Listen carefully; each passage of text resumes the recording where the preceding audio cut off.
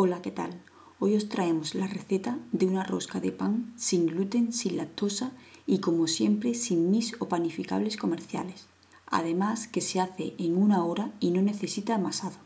Es muy fácil de hacer, tan solo hace falta pesar los ingredientes exactos. Esta rosca de pan será la delicia de cualquier merienda o cena, así que anímate y hazlo tú mismo en casa. Esta receta es para cuatro personas. Se trata de un pan, se tarda una hora en total en hacerla, la dificultad es baja y el coste bajo medio. El coste lo pongo bajo medio porque al comprar las harinas inicialmente, al no ser un panificable comercial, tienes que hacer un desembolso mayor para tenerlas todas, pero a corto plazo es más económico, además de ser más sano.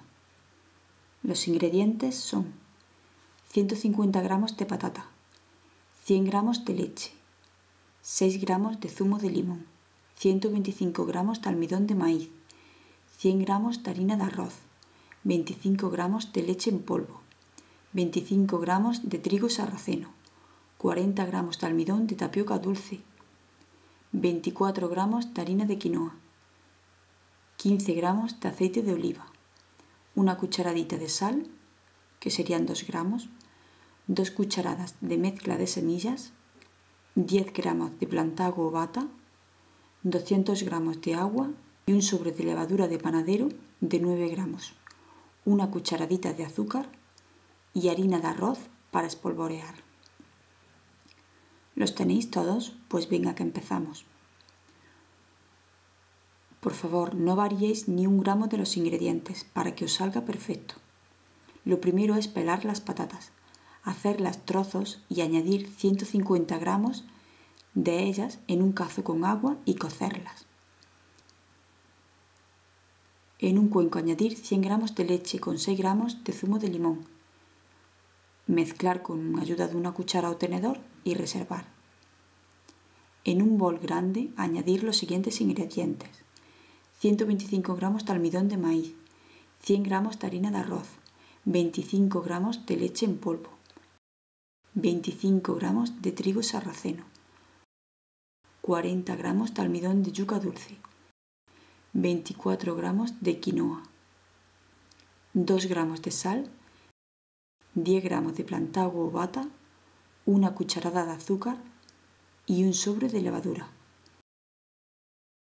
Después, mezclar todas las harinas. En el caso de que tengáis las semillas de alguna de ellas, pero no lo tengáis en formato de, harina, podéis triturarlas con ayuda de un robot de cocina. A continuación, sacar las patatas que ya estarán cocidas y chafarlas con un tenedor o con un pasapurés y añadir esta mezcla a las harinas.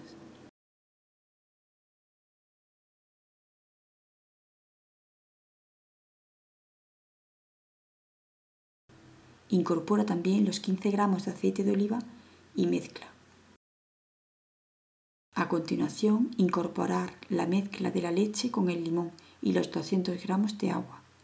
Mezclar bien de dentro hacia afuera, con ayuda de una rasqueta o con las manos. Así se incorpora la harina poco a poco.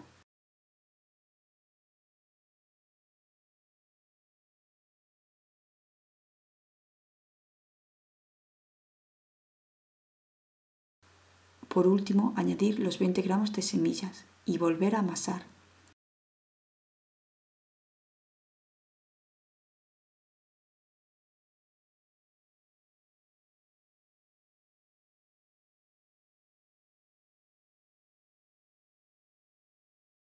Después, precalentar el horno a 200 grados centígrados. Colocar papel en la bandeja del horno para que no se os enrolle añadir unas gotas de agua en las esquinas de la bandeja y colocar el papel encima.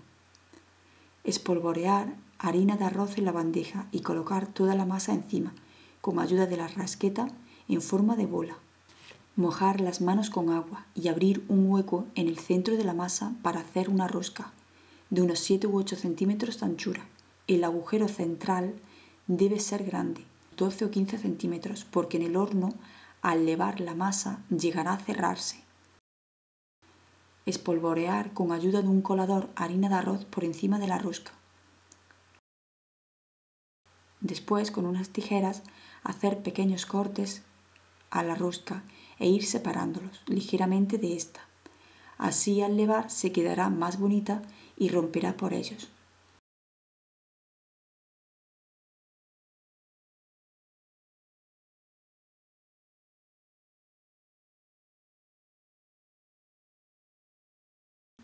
Abrir el horno rápidamente e introducir la bandeja en el medio, con calor arriba y abajo, a 200 grados centígrados, durante 15 minutos.